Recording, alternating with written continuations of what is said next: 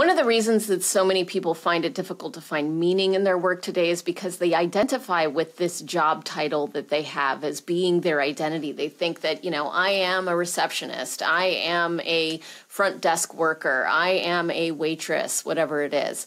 And when all you are, in the way that you think about it that way, is this job title, it doesn't feel like there's a lot of fulfillment in that.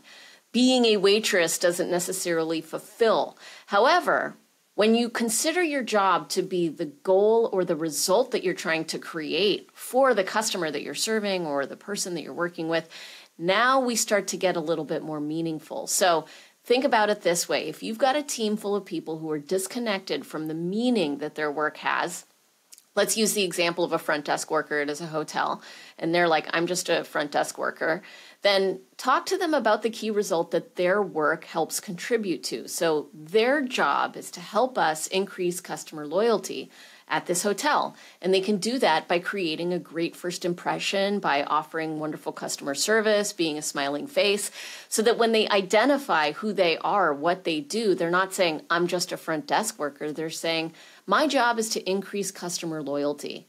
Now there's purpose in that work, and that allows people to take more accountability.